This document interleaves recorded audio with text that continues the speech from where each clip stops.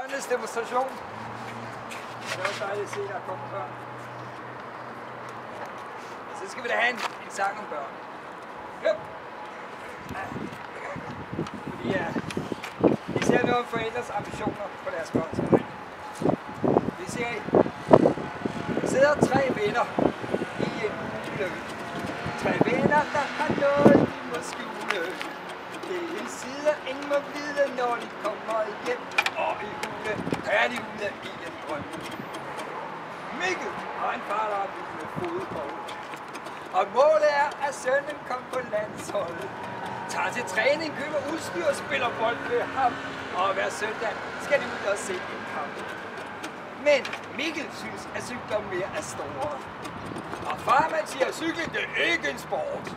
Lille Mikkel har en drøm om baneslagbær, krans og i hulen kan klub på Tour de France. Så er det godt at have venner i en hule. For det hænder, vi har alle noget at skjule.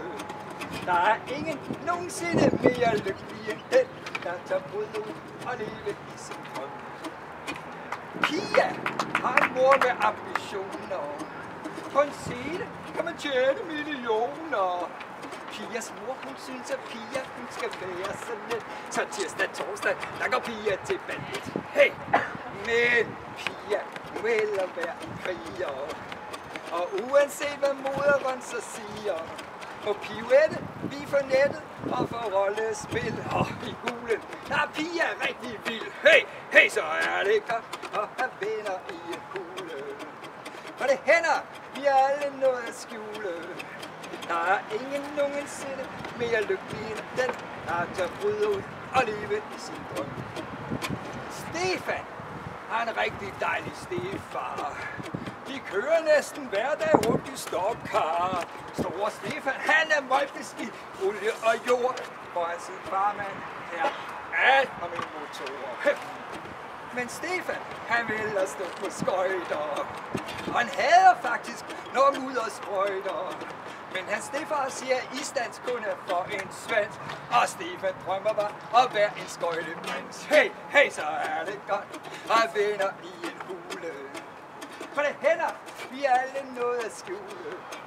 Der er ingen nogensinde mere lykkelig end den, der tager brød ud og leve i sin drøm. Der er rigtig mange mennesker i verden, som man ikke lige kan kende på sin verden. Mange glemmer, at de gemmer sig bag livets masker.